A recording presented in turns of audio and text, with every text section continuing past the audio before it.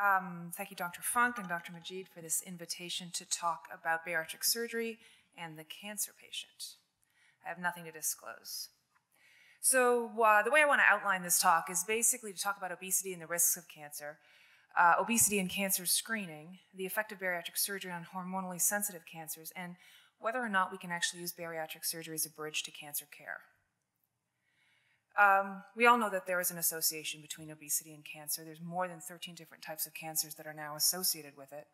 We really don't know the mechanism. We know that there's some sort of inflammatory process that goes on that releases all these mediators that leads to a lot of cancers in, um, in the GI tract, in the female and male reproductive system, as well as other cancers. Uh, this study, though, was done um, uh, using a UK clinical practice research Datalink, which is a database that the primary care physicians there use, looking at the BMI, increase in BMI and risk of specific cancers. And what they found was that as BMI increased, uh, there was a positive association with the risk of colon cancer, liver cancer, breast cancer, and ovarian cancer. But interestingly, um, with every five point increase in BMI, there was actually a linear association uh, with, uh, for cancers of the gallbladder, cervix, uterus, thyroid, kidney, and leukemia. So this suggested that BMI is associated uh, with a cancer risk. Um, this is a population level effect. And uh, because of the differences in the way that they react, there is obviously different mechanisms for different cancers. What's more alarming, though, is that there's emerging trends um, or cancer trends among younger adults. Um, the incidence is significantly increased for six of 12 obesity related cancers that are normally seen in the older adult population, um, which includes the colon rectum, uterus, gallbladder, biliary, kidney, um, pancreatic cancer, and multiple myeloma. Additionally, if you look at these curves, um, there's steeper rises in successively younger generations. And what that means is that basically the risk of developing an obesity related cancer is actually increasing in a stepwise manner in successively younger birth cohorts in the United States. And so, I mean, obviously this needs to be studied more, but this is this, this, is this trend. And finally, on a global level, um, this was an, um, a study done by Arnold and his group, which estimated the global burden of cancer in 2012 due to high BMI. What they found was that worldwide there was 481,000 new cases of cancer in 2012 that were attributable to an excess BMI, taking data from 1982 to 2000, taking the weight change from 1982 to 2002. And they found that if the BMI had actually remained at 1982 levels, 25% of the BC related cancers in 2012 could have been avoided. Most of these cancers were in North America, and about 60% were colon, uh, uterine, and postmenopausal breast. So, you know, I would love to say that I, I, I, have this data. I've found this literature that shows that, you know, when we do bariatric surgery, we can actually reduce the risk or the incidence of cancer in a very immediate way, but there's nothing out there right now.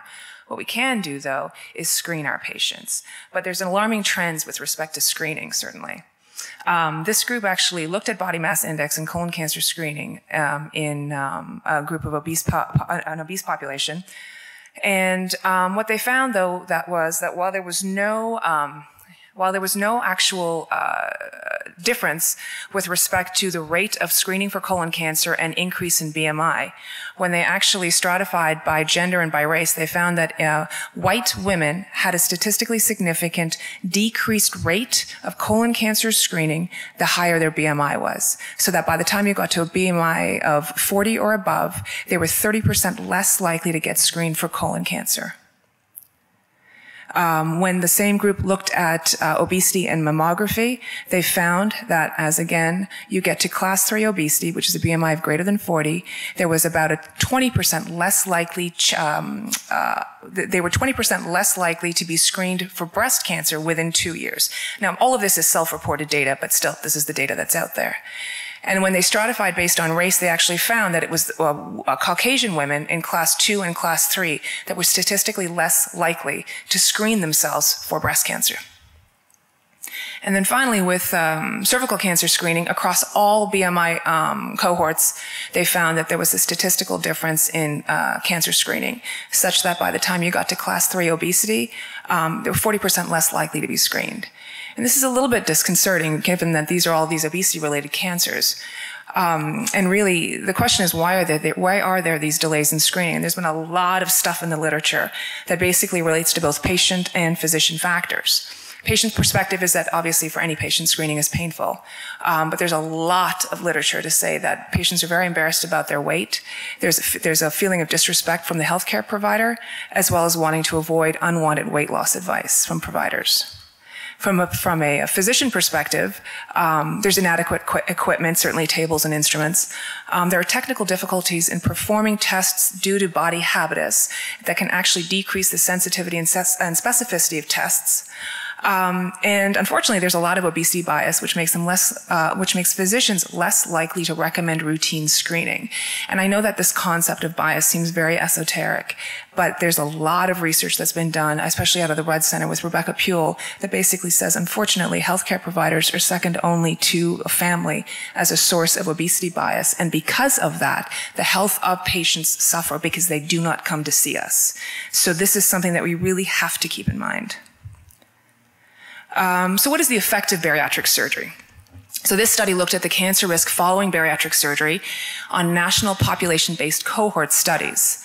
And what they found that there was, was that there was a significant reduction in overall cancer incidence compared to control patients with obesity, a significant reduction in the incidence of obesity related cancers, a significant reduction in the incidence of breast cancer compared to controls with obesity, but no effect on the incidence of esophageal cancer, colorectal, endometrial, or prostate cancer. So overall, it seems that it appears to be, a, bariatric surgery appears to be associated with a reduced incidence of cancer at a population level. On a more granular level, this study done by Daniel Schauer show, uh, looked at the association between weight loss at one year and the risk of cancer during the subsequent 10 years of follow-up. Um, so what you see there are just Kaplan-Meier survival curves, but basically what they're showing you uh, are how, how, they've stratified the patients as the, all patients who underwent bariatric surgery, stratified by the amount of weight that they lost in their first year after surgery. So when they compared patients who lost greater than 30% af- within the first year after surgery to patients that lost 20 to 30% to patients that lost less than 20% again within the first year, more weight loss was, uh, the more weight you lost, the less incidence of cancer. And when they did their calculations, essentially it was that they found that patients having bariatric surgery who lost uh, for each 10% of weight that they lost within their first year, there was a 14% reduction in cancer risk. So obviously, substantial weight loss may reduce cancer risk. And um, when they did a, um, a, multivariate analysis, it was actually the weight loss related to surgery, not the surgery itself, that um, um created these responses. So, what about bariatric surgery as a bridge to cancer care? We know I've shown that obviously it's linked to many cancers. Weight loss reduces the incidence of the cancers, but can we use weight loss as a means to enhance cancer care or improve outcomes in sort of an immediate period? So to try to answer this, because there's not a lot out there, I found this review, um, the systematic review on laparoscopic colorectal cancer resections. And what this group found was that while there was no difference in the five-year um, uh, disease-free survival rate or the overall survival rate, what they did find was that when you compared obese to non-obese, there was a statistically higher conversion rate to open and statistically higher overall morbidity, including wound infections and anastomotic leaks. So this is a possible, I mean, this is where, you know, weight loss obviously could play a role in these immediate perioperative outcomes. So again, to, to, you know, could, can we use bariatric surgery as a means to enhance cancer care? Um, unfortunately, there's nothing out there, nothing in the literature, except for one case study that demonstrated the use of sleeve gastrectomy as a bridge to robotic assisted hysterectomy. Um, for a uh, low-grade endometrial tumor. Um, and the only reason I know that this exists is because this is my little case study I did with my uh, with my gynecologist. This was a patient that um, uh, came in with a BMI of 85 and um, she was it, her weight was prohibitive for surgery. They she did not want bariatric surgery. They started her on progestin, but she would not respond to progestin. And so, after a lot of convincing by the her gynecologist, she uh, came to talk to me. We ultimately did a sleeve gastrectomy. She lost the weight, and eight months later, she went to surgery, and she's doing great. So there are these case studies, but there's nothing, there's no real evidence in the literature for anything. So what do you do for these patients? Um, unfortunately, it is a case by case basis at this point. Um, you have to consider the type and the stage of the malignancy, the life expectancy of the patient, the risk for recurrence, and the risk factors for recurrence. So, you know, if it's breast cancer and they and they are they a breast cancer patient, maybe they need to lose weight after therapy in order to prevent recurrence. Um, also, surveillance and screening for these patients. Again, body habitus, as I mentioned, can make screening tools less sensitive or specific. And then finally, you have to consider adjuvant therapy that they may need to be involved, that they may need to use, including medication absorption, just as we talked about with the transplant group, um, you know, radiation exposure in terms of how wide a field they would need, chemotherapy and the associated nausea and vomiting and dehydration that may be um, that may accompany that. Um, currently, there's nothing, there's no guidelines. The only thing is really that we're insurance driven with respect to how long we're supposed to wait after, after a cancer di- diagnosis. At this point, um, patients are supposed to be five year cancer free before you entertain surgery. But this is currently under review at the ASMBS. The guidelines are being written for this to help guide us.